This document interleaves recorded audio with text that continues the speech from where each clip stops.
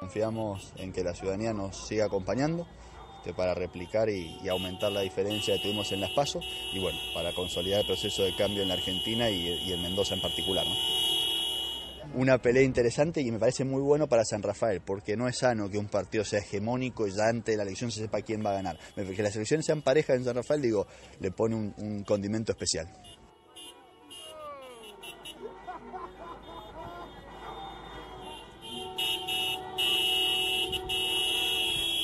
Hubiera gustado que San Rafael se debatiera más de medio ambiente, más de urbanismo, se debatiera más de cómo generar fuentes de empleo y menos de campañas sucias como hubo en San Rafael.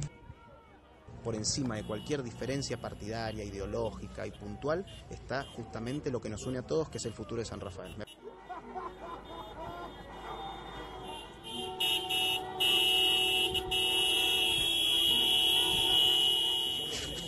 Perfecto en toda la escuela.